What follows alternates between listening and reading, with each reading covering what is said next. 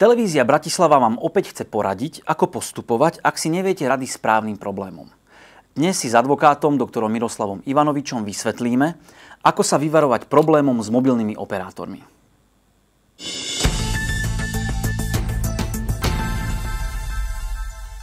Vážená redakcia, chcem podať sťažnosť na svojho mobilného operátora, nakoľko mi účtuje peniaze za neodoslané SMS správy vo výške 2 eurá, na ktoré som nikdy neodpovedal.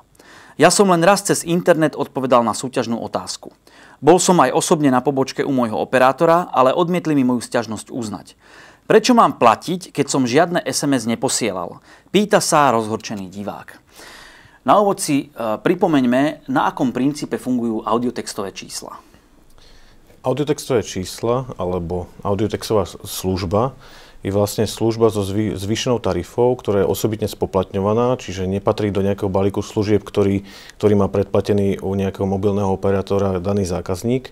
A je to, je to služba, ktorú, ktorú poskytuje uh, určitý poskytovateľ, ktorý je registrovaný na Úrade pre reguláciu elektronických komunikácií a musí mať vytvorenú e, osobitnú zmluvu s konkrétnym mobilným operátorom, kde vlastne tento mobilný operátor vystupuje len ako nejaký sprostredkovateľ tejto služby.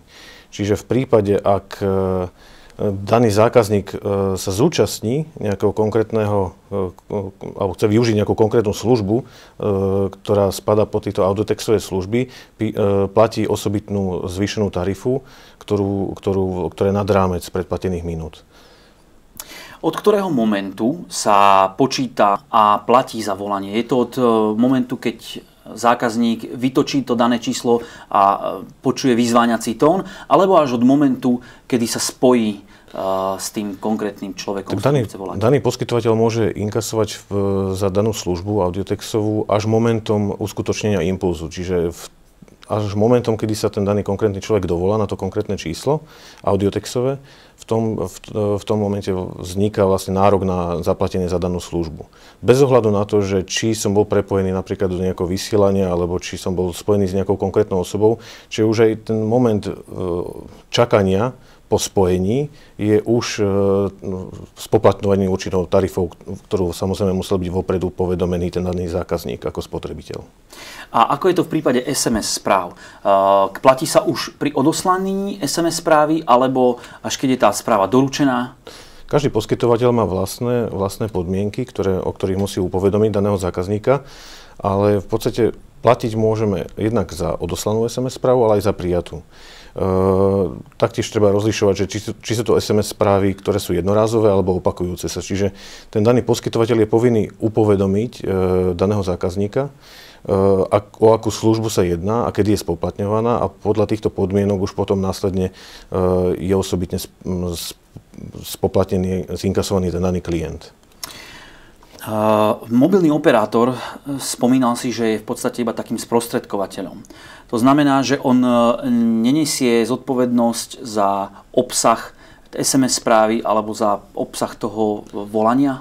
Mobilný operátor to vyslovene iba poskytuje službu jednak e, zákazníkovi na to, aby sa mohol spojiť s, tou danou, e, s danou službou audiotextovou a na druhej strane je tu poskytovateľ, ktorý je vlastne tiež klientom toho mobilného operátora a tu vyslovene pôsobí len ako nejaký sprostredkovateľ tejto služby.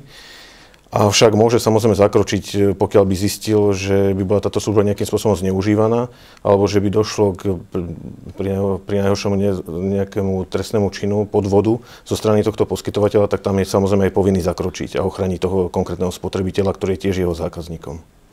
E, je možné, že sa človek odpovedou na nejakú súťažnú SMS správu e, zaviaže na opakované platenie za služby, ktoré ani nevyužíva potom? Je to možné. E, dokonca e, tieto audiotextové služby, e, čo sa týka SMS správ, sú dosť často aj takýmto spôsobom riešené.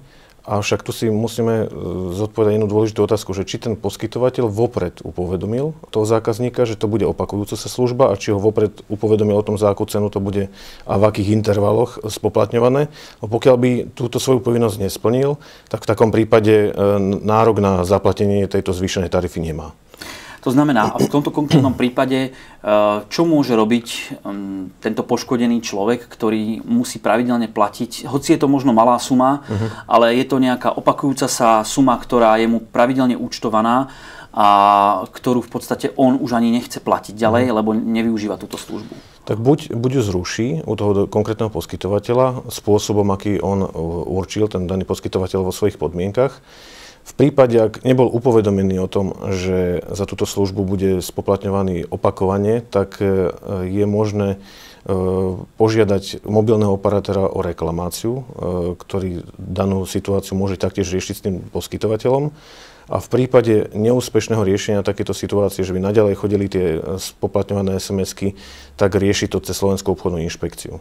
Chcel by som ešte upozorniť, e, že konkrétny zákazník môže požiadať svojho mobilného operátora, aby mu zablokoval e, akékoľvek audiotextové služby už vopred, čiže nebude možné, e, aby bol, bolo jeho telefónne číslo zneužité na akékoľvek audiotextové služby.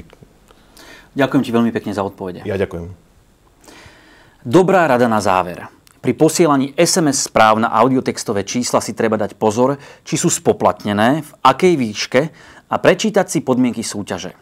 Ideálne neposielať SMS správy takéhoto typu. Poradil nám advokát dr. Miroslav Ivanovič.